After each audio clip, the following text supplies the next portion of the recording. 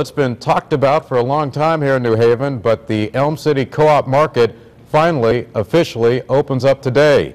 It's located on the ground floor of 360 State Street. The new mixed-use tower is at the corner of Chapel and State Streets. The doors were open for what's called a soft opening yesterday, but the official opening set for today.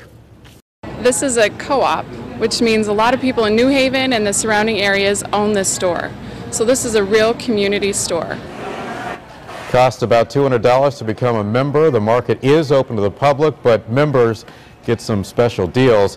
The market has everything from fresh produce to fresh meat, seafood, other groceries. Many products are made locally, which they define as being grown or made within 200 miles of New Haven. They also have a prepared food section, including a deli and a salad bar. If you're interested in becoming a member, you can stop by the store, pick up a form. They have different payment options to cater to everybody's different financial needs.